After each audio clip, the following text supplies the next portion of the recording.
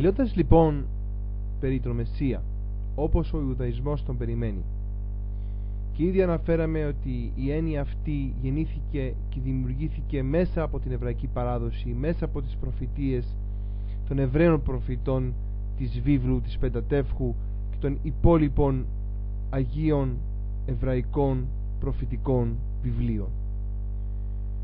Έτσι κι αλλιώς όπως είπαμε η ίδια η λέξη είναι εβραίζοντα Μεσσίας προέρχεται από την εβραϊκή λέξη Μασίαχ δηλαδή και χρησμένος ή αλλιώς Χριστός. Ήδη αναφέραμε για τα χαρακτηριστικά του Μεσσία ότι πρόκειται από τον Εβραϊσμό από, τον, από την δηλαδή από την ευθυντική διδασκαλία περί Μεσσία. Αναφέρεται ότι θα είναι άνθρωπος θνητός όπως είπαμε γεννημένος από φυσιολογικούς γονείς με φυσιολογικό τρόπο και ο οποίος δεν θα ενδιαφέρει σε τίποτε άλλο όσον αφορά την ανθρώπινη του φύση εκτός ότι θα είναι διαλεγμένος φυσικά από τον Θεό και ότι πρόκειται να είναι άνθρωπος τόσο σοφός όσο και ακόμα περισσότερο δίκαιος και καλός.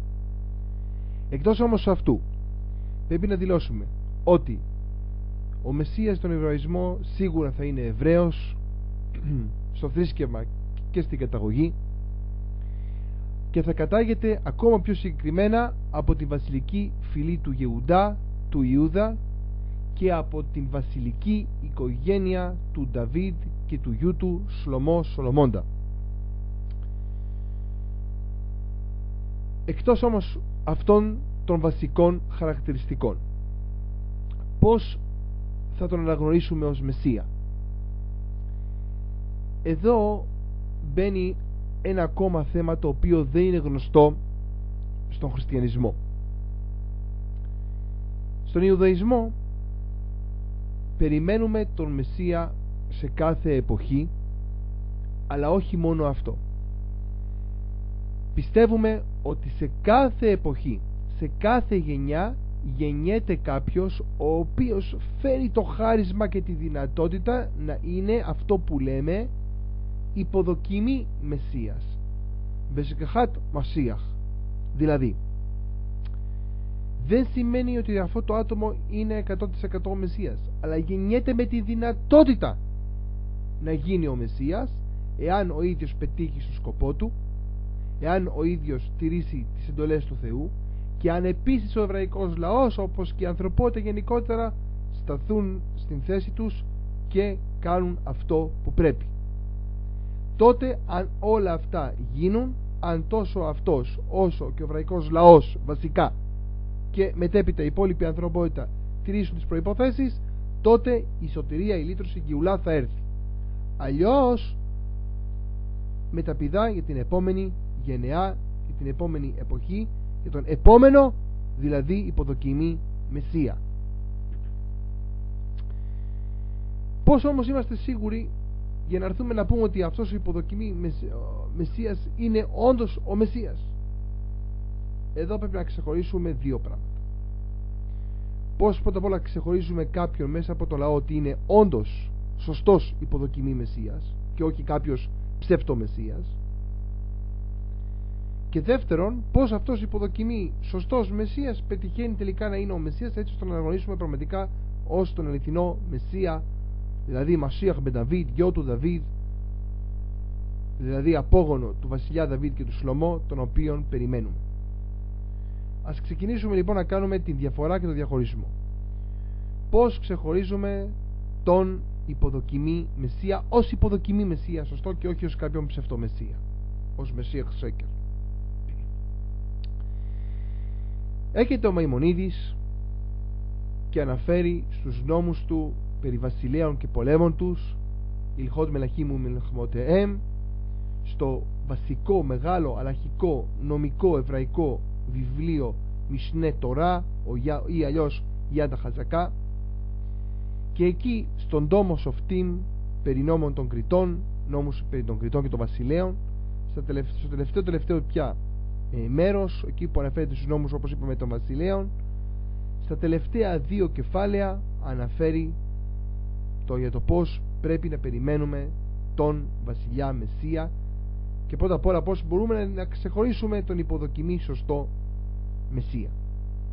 Έχετε λοιπόν ο Μαϊμονίδης, ο Ραβίνος Μωσέ Μπεν Μαϊμόν και μας αναφέρει ότι εάν σηκωθεί μέσα στο λαό του Ισραήλ ένας δίκαιος Εβραίος σωστός σαν χαρακτήρας σωστός ως άνθρωπος αλλά επίσης και κυρίως σωστός ως Εβραίος. Δηλαδή ένας θρήσκος Εβραίος και καλός άνθρωπος. Ο οποίος θα έχει γνώσεις επάνω στην Τωρά.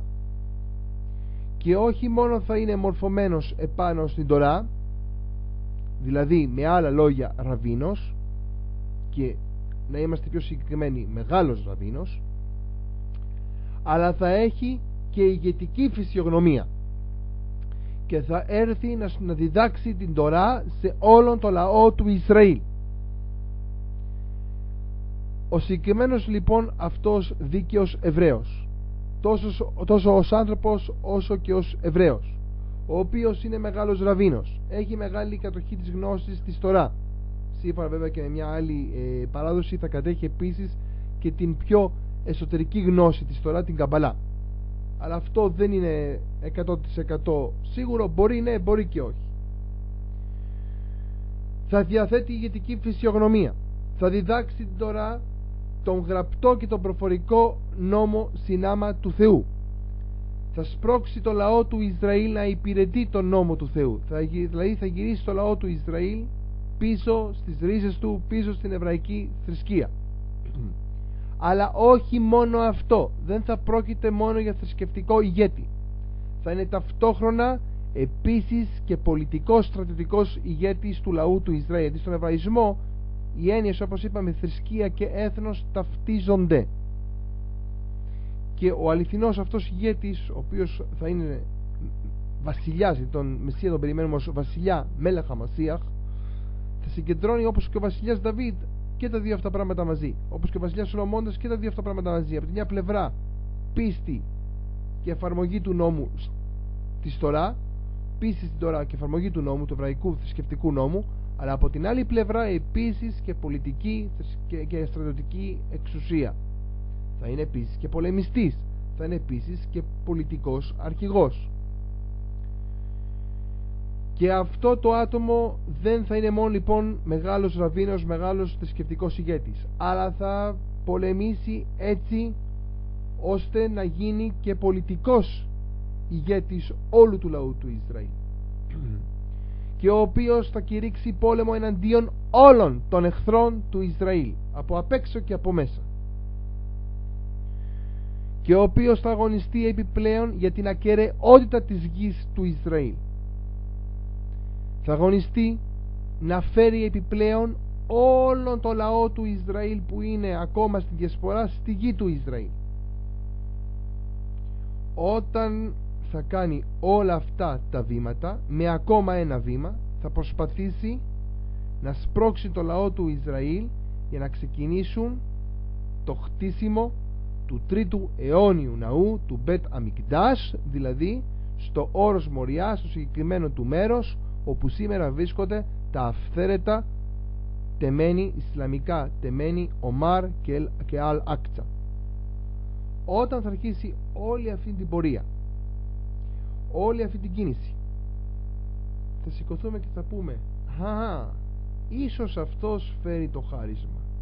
Ίσως αυτός είναι όντως ο υποδοκιμή Μεσσίας όσο φυσικά τηρεί όπως ακριβώς πρέπει τον γραπτό και προφορικό νόμο του Θεού.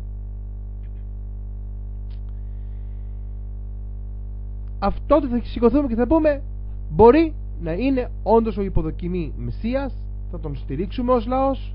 Εμείς βασικά οι θρησκευόμενοι Εβραίοι και με τη βοήθεια του Θεού συνέχεια όλοι οι Εβραίοι θα τον στηρίξουμε και θα δούμε εάν όντως φέρει σε πέρας την αποστολή του. Και ποια είναι αυτή η αποστολή του;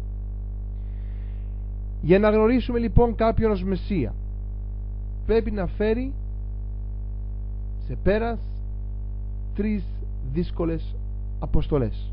Πρώτον όπως είπαμε να επιμεληθεί την ανοικοδόμηση του τρίτου ιερού ναού του Πενταμικδάς στην ίδια ακριβώς θέση που ήταν χτισμένοι και οι δύο προηγούμενοι ναοί στο όρος Μοριά της Ιερουσαλήμ της Ιερουσαλήμ.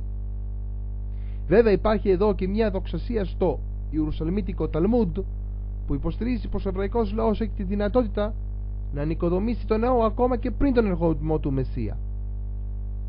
Όπως φυσικά και όλη αυτή η αποστολή ισχύει μετά την καταστροφή του δεύτερου ναού το 70 μετά Ιησού. Πιο πριν δεν υπήρχε. Όμως, αν δεν έχει χτιστεί μέχρι την εμφάνισή του και μέχρι την αρχή της εξουσίας του, θα χρειαστεί να αναλάβει ο ίδιος αυτήν την βαριά ευθύνη. Δεύτερον, πρέπει να επιστρέψει, όπως είπαμε, όλο τον εβραϊκό λαό στη γη του Ισραήλ, όπου εκεί θα υπάρχει ήδη απόλυτη εβραϊκή κυριαρχία σε όλη τη γη του Ισραήλ, περιλαμβανομένου Ιουδαίας φυσικά, Σαμάριας και Γάζας. Φυσικά η δημιουργία του κράτους του Ισραήλ θεωρείται από αρκετούς θρησκευόμενους Εβραίους ως ένα ως μία κίνηση η οποία ήδη άρχισε να σπρώχνει την όλη κατεύθυνση προς τα εκεί δηλαδή ως ένα προκατακτικό στάδιο αυτής της αποστολής. Και τρίτον αφού καταφέρει όλα αυτά και αφού βασιλεύσει αρχίσει να βασιλεύει αληθινή ειρήνη ανάμεσα στα υπόλοιπα έθνη εφόσον συντρίψει όλους τους εχθρούς του εβραϊκού λαού και σε αυτό να είμαστε σίγουροι. Ο βασιλιάς Μεσσίας, ο υποδικήματος Μεσσίας για να, για να γίνει τελικά Μεσσίας θα πρέπει να συντρίψει κάθε αληθινό δολοφονικό αντισημίτη από όλων των αποχρώσεων. Όταν λοιπόν κάνει και αυτό θα πρέπει να επιφέρει είτε διαμέσου διαλόγου και ειρηνικού τρόπου αν όλα πάνε καλά είτε διαμέσου όπως είπαμε πολέμων και συγκρούσεων και ο τρόπος εξαρτάται από την ανάλογη συμπεριφορά της ανθρωπότητας και του εβραϊκού λαού εκείνη την εποχή αληθινή και διαρκή ειρήνη παγκοσμίως. Εάν πετύχει και αυτούς τους τρεις σκοπούς μέχρι όσο ο ίδιος ακόμα είναι εν ζωή τότε θα τον αναγνωρίσουμε ως Μεσσία και τότε θα τον στέψουμε ως τον βασιλιά Μέλεχ Αμοσίαχ. Εμείς ο εβραϊκός λαός πρώτα και μετέπειτα ολόκληρη η δίκαιη ανθρωπότητα. Γιατί στην εποχή του Μεσσία, δηλαδή μετά την αρχή της, μετά την ε, βασιλεία του, όταν πια η βασιλεία του θα είναι δεδομένη σε όλο τον κόσμο, μόνο οι δίκαιοι Εβραίοι και μη Εβραίοι θα είναι στον κόσμο. Μόνο τότε θα τον αναγνωρίσουμε ως τον αληθινό βασιλιά Μεσσία. Πριν αυτό, για εμάς θα είναι ως υποδοκιμή Μεσσίας, τον οποίο θα τον στηρίξουμε μέχρι να πετύχει το σκοπό του. Όσο φυσικά βέβαια είναι ακόμα πιστός τόσο στο γραπτό όσο και στο προφορικό νόμο του Θεού.